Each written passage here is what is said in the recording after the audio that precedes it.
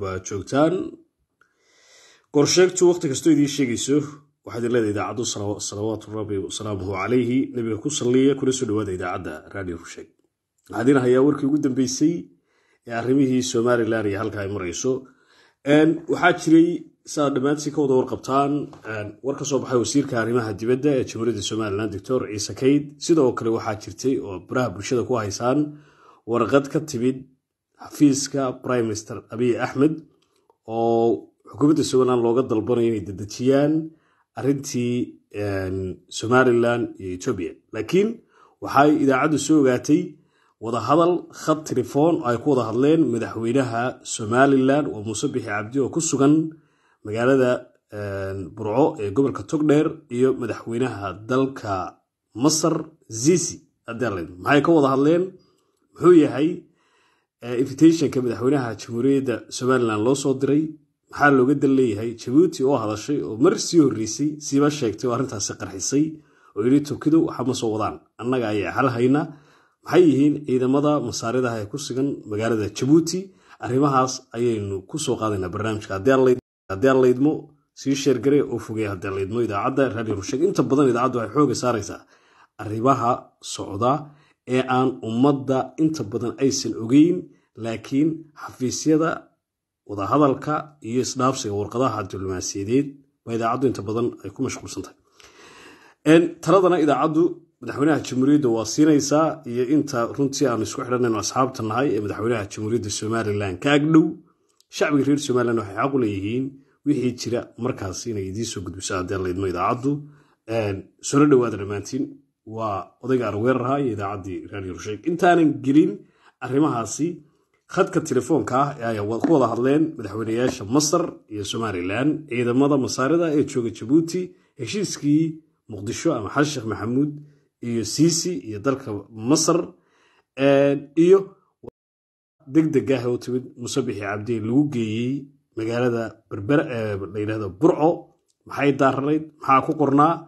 Arrimahaas ayaynu diiradda saari doonaa haddii ilaha yidhaahdo waan filayaa inaad dhammaantiin ogaan doontaan.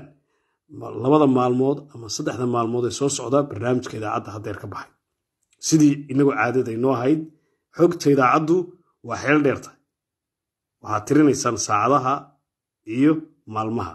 Saaad u ogaataan xogta caawa anu halkan ka sii diinina allaydmo marka hore halkayna yara dhegeysta sina shargalaya dhammaantiin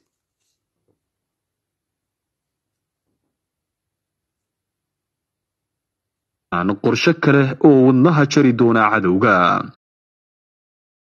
Hogaaminayo wasiirka arrimaha dibadda ee u xilsaarnaa in la joogo.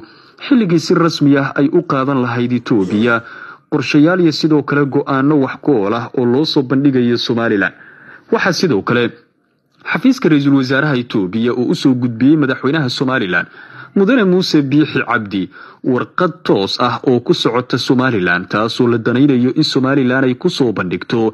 Islamarkaana ay ku caddayso qodobo muhiim u ah heshiiskii la wadagalay haddaba warqadda loo soo diray somalilan oo dhuuxa wararka uu helay waxay muujinaysaa in si weyn etoobiya ay rajo uga qabto in la dhaqangeliyo heshiiskan islamarkaana wakhtiga iyo dhaqaalaha ugu badanba ay ku bixinaysa etoobiya dhaqangelinta heshiiskan. Warqadda somalilan loo soo diray oo madaxweyne muuse biixi cabdi uu sida dhabta ugu guddoomay magaalada burco ayaa waxay ahayd mid farxad leh. Warqadan etoobiya waxay ku sheegtay in laga rabo somalilan in iyadu ay soo caddayso kala doorato islamarkaana ay ugu dambayn qalinka ku labada tillaabo ee laga rabo in midkood boqolkiiba kontona ku yeelato shirkadda isgaarsiinta etoobiya iyo in ay doorato in ay boqolkiiba konton ku yeelato shirkadda waa duulimaadyada ee waddanka etoobiya taasoo ka dhigaysa in si weyn ay dhinacyadu uga fakarayaan ugana baaraandegayaan wax kasta oo la xidhiira qorshayaashooda iyo sidoo kale go'aanadooda kale. Way taasi waa waxa weeye waa warqaddii ka timid xafiiska prime minister abiy axmed maxay daaranayd maxaa ku qornaa waxaa laga yaabaa isagu wuxuu ka hadlay waxa weeye in xukuumaddeena layidhi waxa weye waanaad soo caddaysaan ama lifaaqi heshiiska ku soo dartaan optionskii ama offriskii loo keenay maadaama naval base imanayo etoobiya ma doonayso haarkran si lacag badan inay ku bixiso baskaas oo baanka etoobiya ka imanaya. Lakiin waxay doonayaan inay ugu bedelaan laba option oo ah in saami lagu yeesho diyaaradda ama shirkadda ugu weyn dhinaca isgaarsiinta marka maaqaan waxa weeye guddidii ayaan markii hore is-afgaradka ahayd baa waxay ku qoreen heshiiska isfahanka waxa weye in lacag adag oo waxa weeye hard currency dabeetana banka somaliland lagu soo shubo mise sheerkay ku qoreen. Laakiin abiy axmed imika wuxuu dalbaday inay soo caddayso madaxweynaha jamhuuriyaddu soo caddeeyo kirada bayskaas inay ku qaataan sheer oo ay soo caddeeyaan waxaa kaloo warqadaasi ku qornaa in si deg dega arrintaasi loo fuliyo. Waxaa ku qornayd si deg dega ayaanu doonaynaa arrintaasi inaad waajibaadkaaga uga gudato maadaama aynu heshiis rasmi aynu galnay haddeerna aynu doonayno arrintaasi inaynu bedelno mid dhaqangala markaa madaxweynaha somalilan xogta intaan hayo wasiirka waxaa qaaday inanta wasiir ku-xigeenka oo waxa maxaan ku lehay wasiir ku-xigeenka waa inanta i think so inay tahay burca ka soo jeeda baan filayaa. Inantaasaa madaxweynaha ugu geysay waxa weeye magaalada burco. Warqadaas anu intaan xog tahay dadkii kaaga dhowaa magaalada burco. Madaxweyne markuu akhri aad buu ugu farxay laakiin anu waxaan idiin sheegayaa in madaxweynuhu uu soo jeediyey tala ahaa. La shiray warqadaas uu guddidii ama wafdigii burca joogay markii uu la shiray. Warqadan ka timid alisababa in madaxweynuhu isagu ku dhegan yahay in la qaato sheerka dhaqaalaha ku baxaya ama la doonaya in laga helo naval baska in ay noqoto sheerkaasi lagu qoro waxa weeye diyaaradda ethiopian airlines. Laakiin guddoomiyihii guddidaas loo xil saaray wasiirka arrimaha gudaha wasiirka maaliyadda ninka la yidhaahdo sareebaan cali koore la taliyaha dhinaca diblomaasiyadda iyo amniga madaxweynaha cawil cali ducaalo nin khabiir ah waxay ku taliyeen in kirada ka imanaysa waxa weeye naval baska waa in lagu bedelaa ay sheerkaasi uu noqdaa oo lagu qoraa waxa weeye shirkadda ethiopian telecom